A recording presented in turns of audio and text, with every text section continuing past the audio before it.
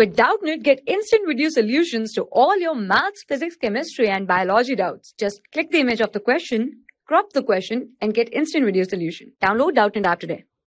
Hello, so the question here is an electric dipole is placed at an angle 60 degree with the electric field of strength 4 into 10 to the power 5 Newton per Coulomb. It experiences a torque equal to 8 square root 3 Newton meter.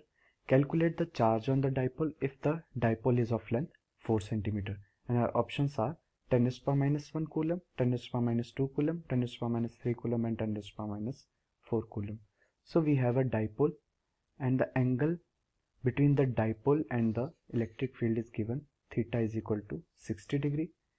The electric field is given to us which is 4 into 10 raised to the power 5 newton per coulomb. And we are also given the torque which is 8 square root 3 Newton meter and the dipole length 2a is also given 4 centimeter which is equal to 4 into 10 raised to the power minus 2 meters. Now as we know when we place a dipole in an electric field it experiences a torque. This torque is given by tau is equal to Pe sine of theta. Now here the value of tau is given which is 8 square root 3. As we know P the dipole moment is given by the charge Q into the dipole length 2a.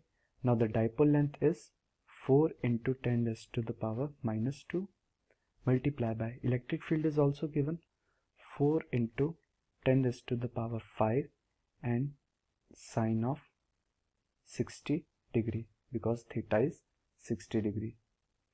Now we get 8 square root 3 is equal to q into 16 multiplied by 10 raised to the power 3 into sine 60 degree is square root 3 upon 2.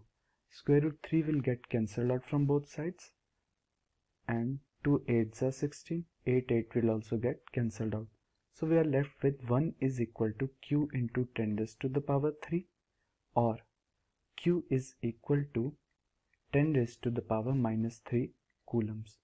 So this is our answer. This is the charge on the dipole 10 raised to the power minus 3 coulombs. So our option 3 would be the correct answer. This is our correct answer. Thank you. For class 6 to 12, IIT JEE and NEET level. Trusted by more than 5 crore students. Download Doubtnut app today.